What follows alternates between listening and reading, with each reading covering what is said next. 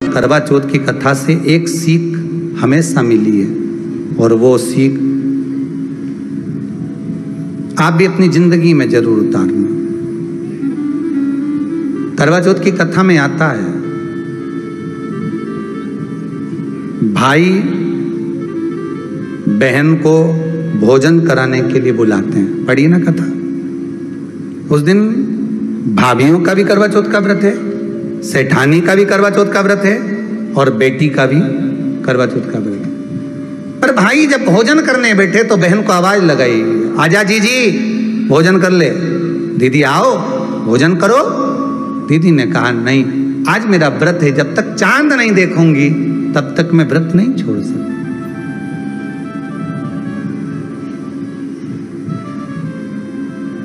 चंद्रमा देख लूँगी, अर्घ दे दूँगी पूजन कर लूँगी, तब मैं व्रत छोड़कर फिर भोजन कर लूँगी।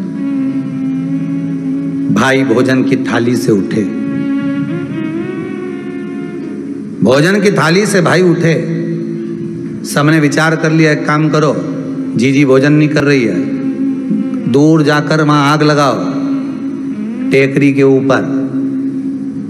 आग लगाना, एक चलनी इतनी बड़ी ले जाओ उस चलनी को दिखाना आग में।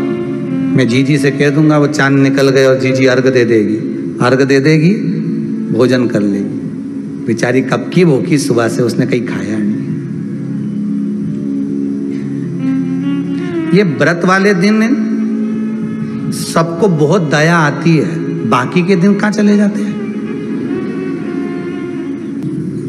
अब दया आ रही है भाइयों को करवा चौथ की कथा, बहुत ज्ञान की कथा है। कभी माताएँ तो आप तक तो, पढ़ती होगी। वो चलनी में मुंडा देखने से पहले तो पढ़ी जाए। उसके बाद मुंडा देखा जाए उसके बाद मुँह देखे चलनी में। ने तिलक करे ने फिर आरती उतारे ये तो सब बात का छत के ऊपर का ये सारा प्रोसेस बात का। पर नीचे तो जब तुम पूजन करो तो उस समय पे किताब पढ़ने पड़े। और उसमें लिखा ने भाई उनके दया आ गई दया आई। तो बहन के खाना खिलाने के लिए ने चलनी में वो आग जलाकर दिखा दी। तो इतने में बहन ने अर्घ दिया। अर्घ दिया तो भाभी उन खड़ी थी। हाथ जोड़कर कहा जी जी तुम्हारे भाइयों ने तुम्हारे लिए वहाँ आग लगाई है और चलनी में मुख दिखा रहे हैं। मत अर्घ दो, ये झूठा है अर्घ। तुम ये चाँद नहीं है भाभी। जी जी, मानो तो ननंद को समझाया, पर प्रेम इतना ज़्यादा था भाई बहन का, सुनी नहीं। अब कथा कर रही है। भाभी समझा रही है ननंद को करवा चौथ की कथा में लिखा है। आप लोग कहोगे कि सियोर वाला महाराज कहाँ से बोल रहा है? तो करवा चौथ की कथा में पढ़ लेना। भाभी ने समझाया, मत करो पूजन, ये गलत है। नहीं मानी। तुम तो हमारा अहित चाहती हो। कर दिया पूजन, अर्घ भी दे दिया, जाके भोजन कर लिया। सब तरह से गणेश जी का अपमान हो गया। बर्बाद कर दिया भगवान। रोने लगी, बिलखने लगी। पूछा, अब माँ के गले लगकर रो रही थी, सेठानी के माँ, बर्बाद हो गई मैं, सब कुछ नष्ट हो गया। माँ की आँख में आँसू थे। गलती क्या हुई है, कुछ मालूम है? मुझे लगता है कि पिछले वर्ष जो करवा चौथ पर पूजन करी थी तो भाइयों ने आग जला दी थी, ये भाभीियों ने कहा था। तो सास बोली, तेरी भाभीियों ने तुझे पहले नहीं बताया? नहीं माँ। मैं अर्घ दे रही थी, तभी भाभीियों ने कह दिया था कि यह चाँद नहीं तुम्हारे भाइयों ने तुम्हें भोजन कराने के लिए चलनी में अग्नि दिखाई है। तो बेटी, गलती तो तेरी है ना? सवेरे से लेकर शाम तक जब भूखी रही, आठ बजे तक भूखी रही, नौ बजे तक भूखी रही, ने टोरा टोरी ने छोरा छोरी के बार बार छत पे भेज रही, देख के तो आया कि नहीं आया? देख के तो आया कि नहीं आया?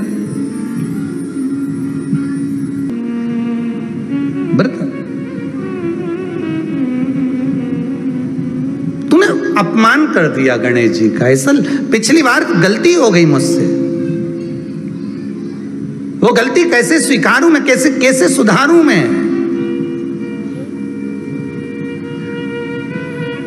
कैसे गलती को संवारूं मैं? गलती को सुधारने के लिए मट्टी के करवे के साथ में शक्कर का करवा रखा जाता है। ध्यान दीजिएगा।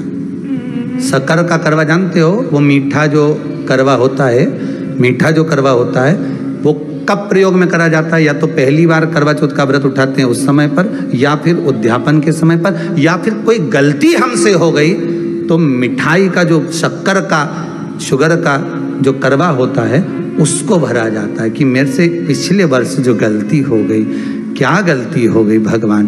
बस उस गलती को सवारने के लिए उसको भर दिया जाता है। मिलता है बाज़ार में। आपने देखा कि नहीं देखा वो पता नहीं, पर मार्केट में आता है। शकर का करवा। शुगर का करवा। भरा जाता गलती भाइयों ने भी कर दी। कभी कभी कभी हमारी सहानुभूति, कभी कभी हम हम दूसरे को समझाने के चक्कर में अपना तत्व दिखाने के लिए गलती कर जाते हैं। अपना तत्व दिखाने के सोलह सोमवार का उद्यापन कब होता है? प्रदोष काल में, शाम के समय। हम पूजन करने कब बैठ जाते हैं? दोपहर में बारह बजे, एक बजे। हरतालिका तीज की पूजन का पहली पूजन कब होती है? प्रदोष काल में। प्रदोष के बाद करते रहो। कई लोग पूजन कर लेते दोपहर में दो बजे। चाय पीना पड़ेगी। भूख लग रही है। कुछ खा लूँगी। मना नहीं। पर समय का भी तो भान करो। दुकान खुलने का भी एक समय होता है। आठ बजे। दुकान बंद करने का समय होता है दस बजे। कथा का समय होता है दो बजे से पाँच बजे तक। सबका एक समय होता है कि इतनी बजे से इतनी बजे तक रहेगा। उसी तरह हर पूजन का विधान है, समय है। सुबह चार बजे से लेकर रात्रि के चंद्र आए जब तक आप भूखे रहते हो करवा चौथ के दिन। फिर जल्दी किस बात की है? क्यों इतनी जल्दी है? जा, वहाँ जाओ, वहाँ देख के आओ चाँद आया कि नहीं वहाँ जाओ, वहाँ देख के आओ चाँद आया कि नहीं आया। अगर भगवान को दर्शन देना है और तेरे व्रत में अगर प्रबलता है तो भगवान तो छत के ऊपर पर आकर खड़ा हो जाएगा। तो विश्वास तो रख, भरोसा तो रख। वीडियो पसंद आए तो लाइक और सब्सक्राइब करना ना भूलें। ज़्यादा से ज़्यादा लोगों तक शेयर करें ताकि सभी लोग इसका लाभ उठा सकें। मिलते हैं अगले वीडियो में। तब तक के लिए श्री शिवाय नमस्तुभ्य। करवा चौथ का व्रत। काय के लिए करते हैं वो? पति की लंबी उम्र के लिए। अच्छा ईमानदारी से बोलो, तुम्हारे भूखे रहने से पति की लंबी उम्र हो जाती क्या? अरे, बोलो तो सरी। है? तुम्हारे भूखे रहने से पति की उम्र बढ़ेगी। शिव महापुराण की कथा कहती है पति की उम्र तुम्हारे भूखे रहने से नहीं बढ़ती, पति की उम्र तुम्हारे मीठे बोलने से बढ़ जाती है।